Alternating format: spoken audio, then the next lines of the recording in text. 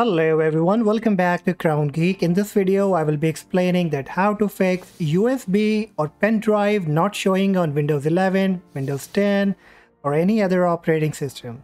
Now this is another common problem where you try to insert your USB or pen drive or any external drive and it's not showing up on your drive in the disk management sometime. So how you can quickly fix it? Before proceeding, I would recommend that you should try inserting your USB drive to some other jack. You must have other USB jack on your PC or on your laptop. Just try inserting in them and see if it works or not. You can also go with a quick restart. Now still if nothing works, then what you have to do, just come to the search icon on Windows 10 or 11. You just need to click on the search box and type here disk management and here you'll find create and format hard disk partition. Just click on it. And now here you have to look for the removable drive okay because this is the one that we have plugged in. So make sure that you have plugged in your USB or pen drive into your PC or in your laptop. And once done you will see here remo removable online. Just make a right click on it. And then it says change drive letter and path then click on change. And now you can try changing the letter for this uh, drive from D to any other.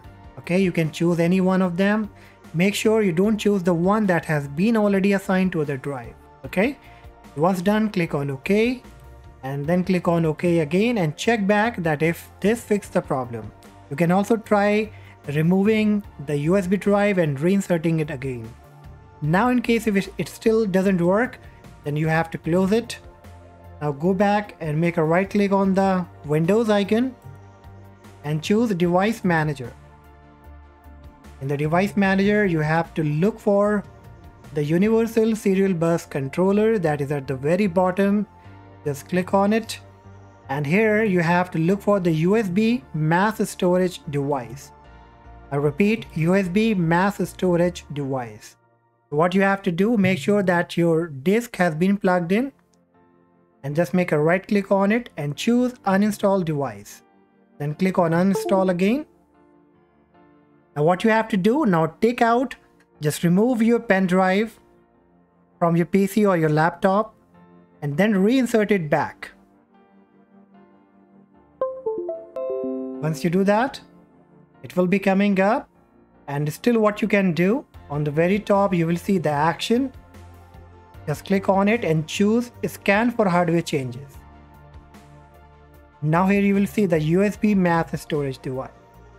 If you go back and check in the drive, you will see that the removable disk, your pen drive, USB drive is now showing on your Windows PC. And you can also try in case if it still doesn't show up, just restart your PC.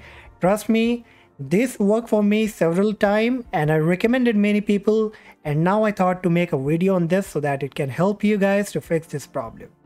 If this worked for you, make sure you hit the like button, subscribe to the channel for more related videos in the future. Thanks so much.